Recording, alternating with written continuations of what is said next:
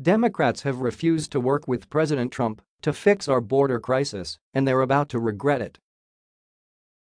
Honestly, it seems like they just want us to open the floodgates and let everyone in. They let the crisis balloon out of control and won't let Trump shut down the border. So Trump has a plan to let the border jumpers in, but wait.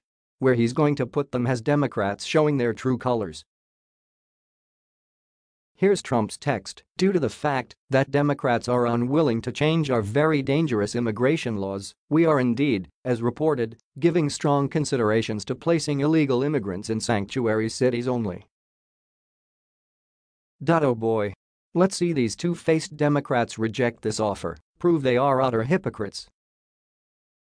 Then he followed it up with this devastating jab. The radical left always seems to have an open borders, open arms policy, so this should make them very happy.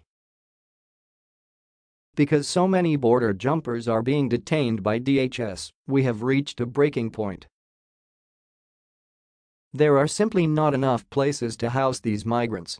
Because we can't just deport them, they get to stick around. Democrats bragged about how their sanctuary cities protect border jumpers from federal authorities. But most of those cities are far away from the border. They don't have to deal with the daily challenges border towns struggle with. Democrats are happy to keep our border weak as long as they don't have to deal with it. President Trump's solution? Transport these detained border jumpers into sanctuary cities force Democrats to deal with the problem they created. Already, Democrats are protesting. Pelosi is fit to be tied. Really?